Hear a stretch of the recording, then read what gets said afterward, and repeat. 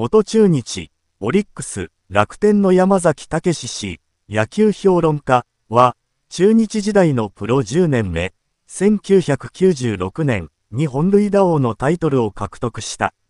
長い下積み時代を経て、ついに覚醒したが、有名な巨人のバルビーノ・ガルベス投手との乱闘劇もこのシーズンに起きた。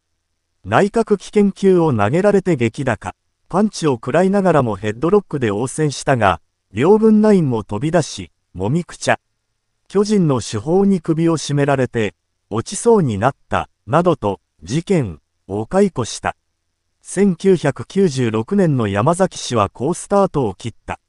4月5日の広島との開幕戦、広島には6番、左翼でスタメン出場し、2回に大野豊投手から1号先制ツーランを放った。あれは大野さんに今でも言われますよ。自信があったシンカーを打たれたのはショックだったってね。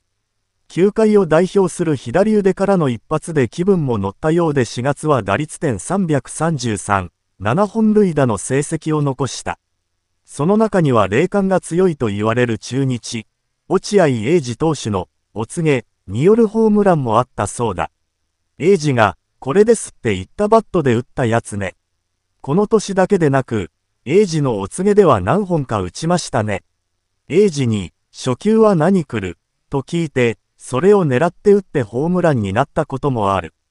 まあ、信じる者は救われる、ってことかなと山崎氏は笑ったが、そういうものも含めて、いい流れがやってきたということだろう。そんな好調モードの時に起きたのがガルベスとの一件だ。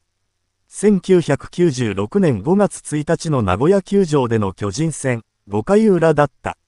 0対6と中日が負けている展開で、先頭打者の6番、左翼の山崎氏に対してガルベスの速球が一直線で顔付近に来た。